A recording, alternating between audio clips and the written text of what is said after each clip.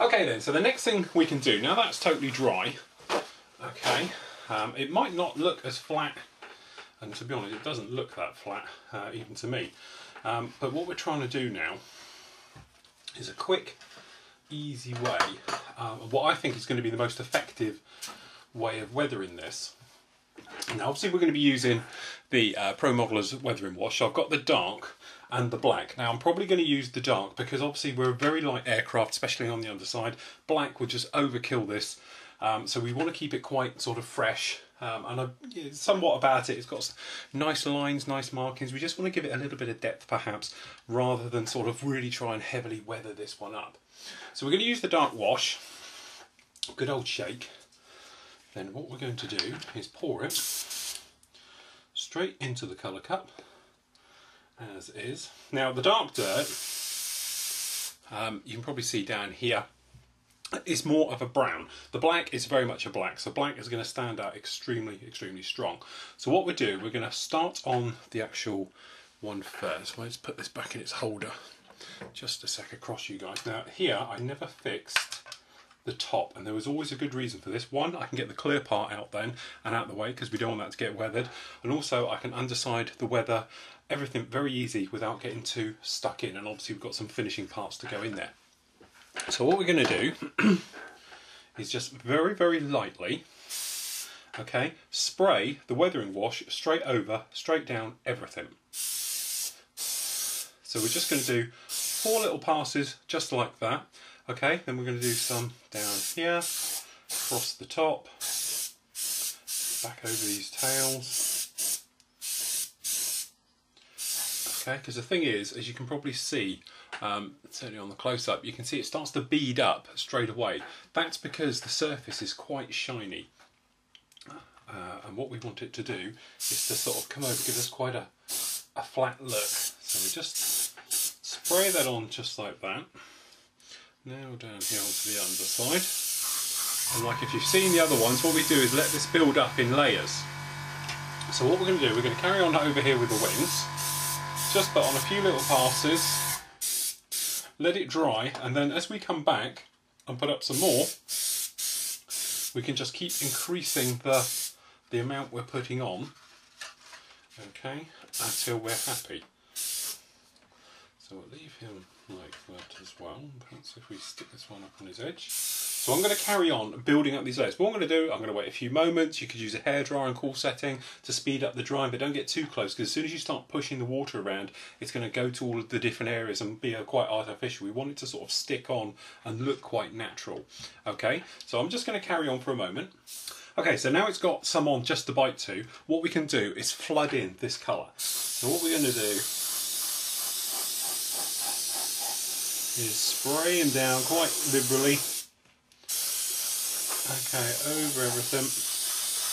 Making sure we're in gears, up wells, into all those areas. So we've got lots of dirt and as you can see we can let it naturally run off. So if you see some little areas, we put the camera here on freehand, you can see there We've got the weathering wash running off as it would on the real aircraft and that's the type of thing we're after is to try and get this sort of quite realistic effect of how grime runs down, heads south and it pulls in certain areas. The big thing is with this, you just leave it and let it to get on with it yourself. You don't want to be coming around in here now sort of spraying around too heavily because what happens is as this is naturally coming down, it's going to get lighter because more and more of this is going to run off and run to the bottom. But if you start pushing it around, it's going to pull up in really odd areas and perhaps areas where you don't really want it. So what we're going to do is just leave it. And if you've got some warm lights, perhaps those around will speed up the drying time, but certainly don't try and dry it with your airbrush or dry it with anything else. Let it sort of naturally just dry off. Remember, if this goes wrong, don't panic. We'll just wipe it all away or wash it away and we can start again. Job done. So we've already got it going on the other side over here. Um, as you can probably see, it uh, is giving us a nice grimy effect without too much hassle. Very straightforward, very, very easy. And then obviously you can just leave it. If you want to add a little bit more, feel free. Just squirt on a little bit more and away you go. Very, very simple. One thing is obviously on the bottom, as you'll see here, it's going to be very, very messy just down here. Don't worry about that. We'll deal with that as a separate item afterwards. Okay, so there we go. That's going on quite nicely, but to be honest, it's a little bit too strong for what I'm looking for. So what we're going to do is just water it down a bit.